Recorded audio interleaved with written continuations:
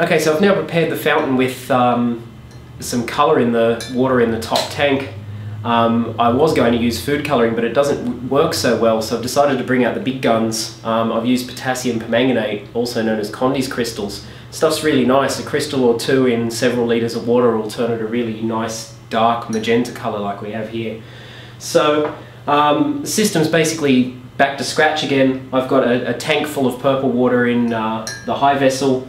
I've got uh, a small amount of clear water in the low vessel, so if the water from here ends up in here, this will start to turn purple.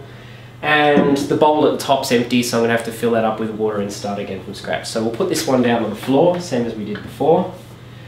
And we'll put some water in the bowl. And again, I'll put clear water in the bowl this time, just to prove to you that the purple water, what's really doing the magic here is the water that comes from down here rather than the water that comes from up here, okay?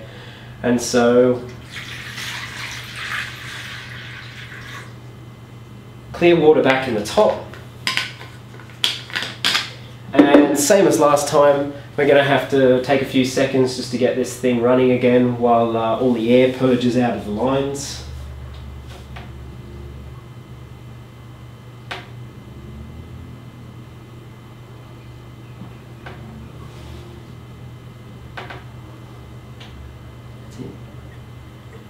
There we go.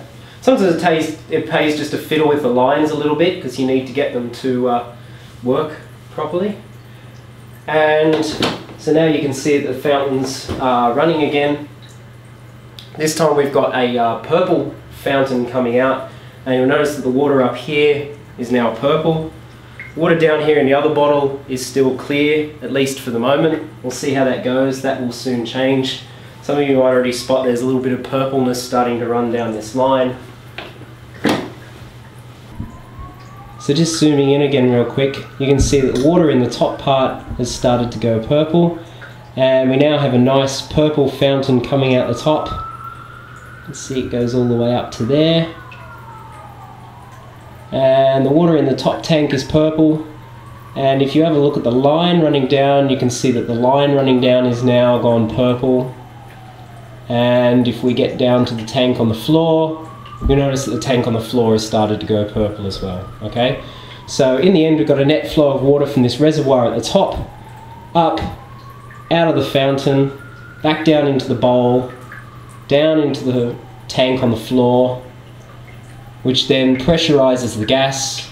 The gas flows back up this clear line that you can see running up the top here, over the loop at the top, into the top of the uh, vessel at the uh, at the top up here and it pressurizes the liquid that drives the force out the top.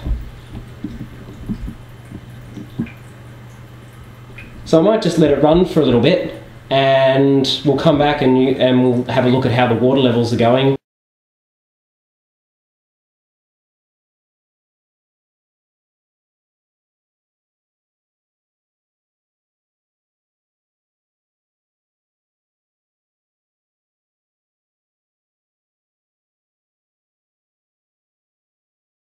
So it's been running for around about five minutes now, and if you're really lucky and I've managed to master the technology, you might have even seen a, a, a, short section in there where I've sped it up and you can watch the water level decrease. But just to show you uh, that there really is water going from one to the other, I might stop the fountain now and I'll bring this other bottle up. And if you compare back with uh, when we first um, started this run, the water level in this bottle was way down here somewhere and the water level in this bottle was actually quite high. And you can see that uh, the water level in this bottle has now dropped a long way and this bottle is now quite full okay? And of course the purple water that was in here has found its way via the fountain up into here and then found its way down to here okay?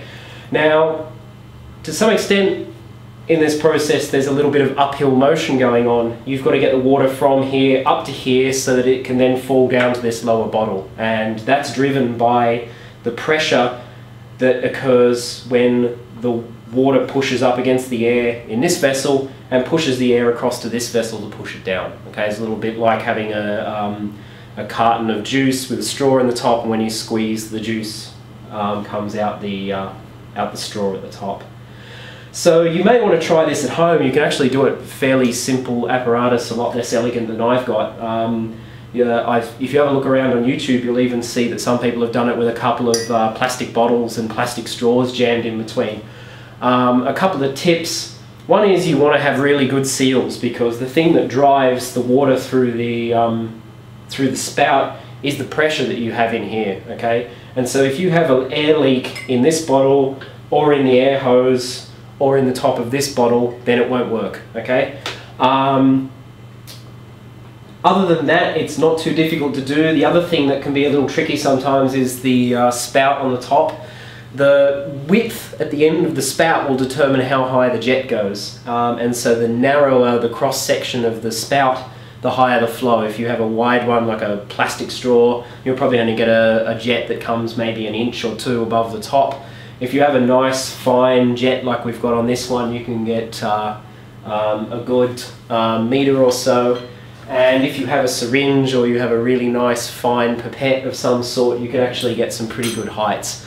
Um, the height is a bit of a double-edged sword, of course, because if it starts spraying out the sides, um, it's not going to fill the bowl terribly well, the process won't work quite as efficiently as it do does if you can capture all the liquid in the top half. Um, the other thing that's really good about having a small spout at the top is that the volume passing through is uh, a bit smaller and so the process of water going from here to here is a bit slower and the fountain runs for a bit longer if you have a smaller spout.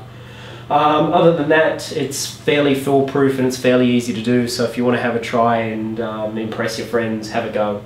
Um, regarding the Condy's crystals, um, if you're going to try that, you may want to do it somewhere where you're not going to make a mess. These will stain clothes, they'll stain skin, they'll stain just about everything if you're not careful with them. They're also poisonous, so don't eat them. Um, but food colouring works just as well. Um, it's probably just not as obvious as I've done in here. Um, potassium permanganate makes a good water colorant.